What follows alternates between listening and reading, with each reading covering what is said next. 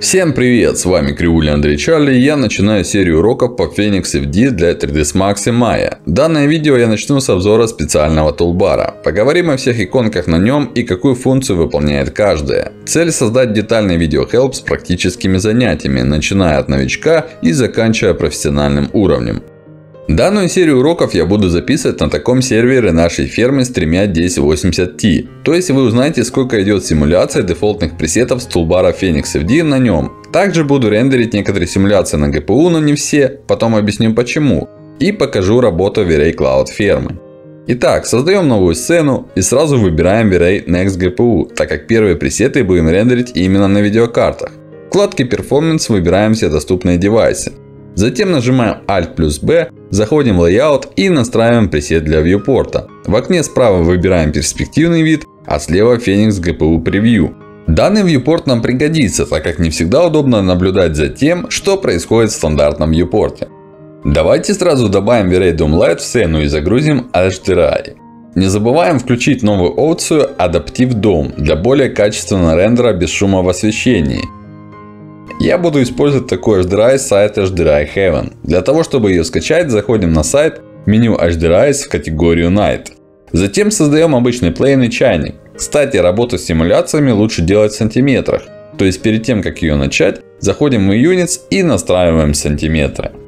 Кстати, если каким-то образом при открытии 3ds Max у вас исчезла панель Phoenix FD, то ее очень легко вернуть на место. Для этого кликаем правой кнопкой мыши в данной части интерфейса и выбираем Phoenix FD. Первые 5 иконок на панели создают специальный объект для симуляции огня и дыма, симулятор жидкости, источник огня и дыма, источник жидкости и Particle Shader. Следующие 4 иконки управляют самой симуляцией. Вы можете включить ее, поставить на паузу, выключить или удалить ее кэш. А далее уже идут пресеты разных симуляций. Благодаря третьей версии Phoenix FD вы можете выбрать такой пресет и уже получить какой-то интересный результат. Итак, выбираем чайник, затем кликаем на первый пресет огня. После данных действий у вас появятся три объекта. Сам симулятор, настройки турбуленции и огня. Все эти объекты и настройки мы потом детально разберем. А сейчас давайте нажмем play и запустим симуляцию.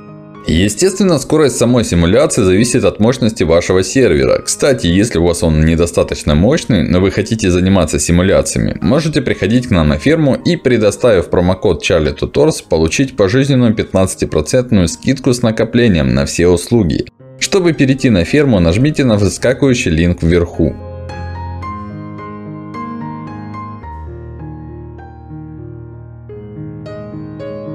Итак, симуляция 101 кадра огня прошла за 11 минут 10 секунд. Эту информацию вы можете посмотреть, выделив объект Phoenix FD Fire.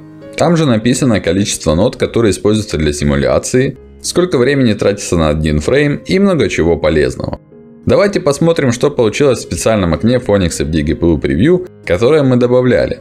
Чтобы превью работало, нужно зайти в вкладку Preview и включить опцию Enable in Viewport. При желании вы можете поменять цвет фона.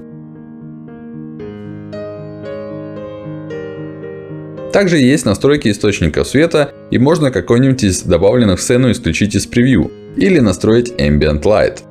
Теперь, если вы будете проматывать симуляцию, сразу же будет видно результат в этом превью окне и в вашем вьюпорте.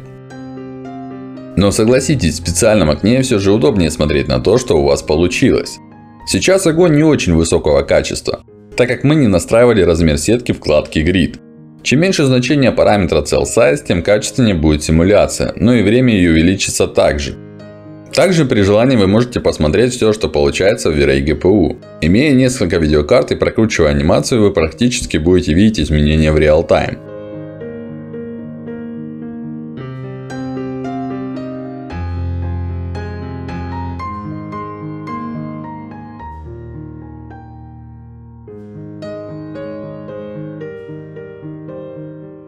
Давайте включим новый NVIDIA AI Denoiser и посмотрим, что получается с ним.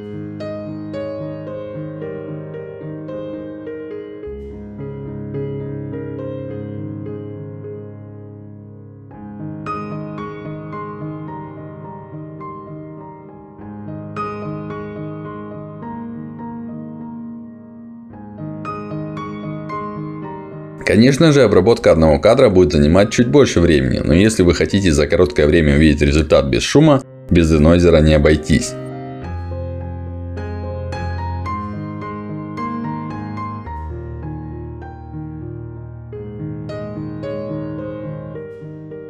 Но все же я предпочитаю смотреть превью через Phoenix FD GPU или через PD Player, который покажу позже. С вами был Кривуля Андрей Чарли. Нажимайте палец вверх, если вам понравилось данное видео. Подписывайтесь на канал, чтобы не пропустить новые выпуски. А также включите колокольчик рядом с подпиской для уведомлений. И конечно же делитесь данным выпуском через кнопку поделиться. Всем мир!